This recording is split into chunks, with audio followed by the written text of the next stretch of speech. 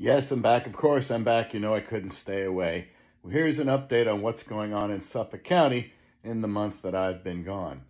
First of all, the festering sewer of corruption in Hauppauge, also known as the Suffolk County Traffic and Parking Violations Agency, has gone from being the most vile, corrupt den of thieves that ever ran a traffic court to one of the best traffic courts in the state.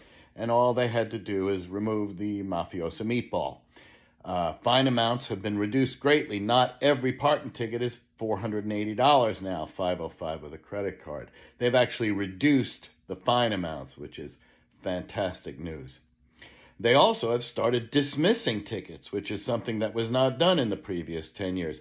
I had a BS ticket for 50 and a 45 on Nesconset Highway recently, and that was dismissed, which is proper, and they're doing it. And they're not doing it with the phony uh, withdraw the ticket BS that the uh, tiny tyrant of Traffic Town thought was a real legal thing because he's a moron. Uh, third, the illegal and usurious double and triple fines uh, upon late payment has been removed from the disposition letters. Uh, I did a whole piece on this where they were doubling your fines if you didn't pay in 30 days, tripling fines if you didn't pay in 60 days. Well, that illegal nonsense is gone. Thank you very much. It's about damn time. And the whole atmosphere at the agency has changed.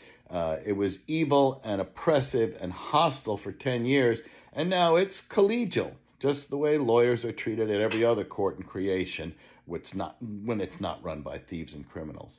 And the last thing I want to say is what a shame our elected officials who knew all about it did nothing the whole time. And what a shame that nobody at Newsday knows the meaning of the word investigative journalism. The festering sewer of corruption.